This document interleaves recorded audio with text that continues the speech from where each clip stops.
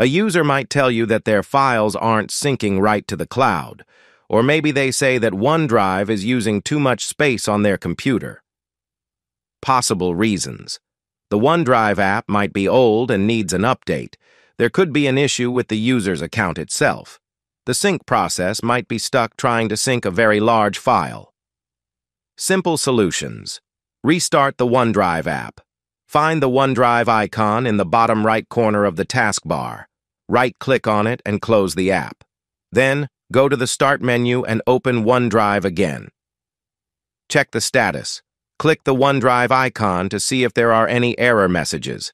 It will also show you if it's currently syncing a lot of files, which can take time. Reset. OneDrive. If the first two steps don't work, you can try resetting the app.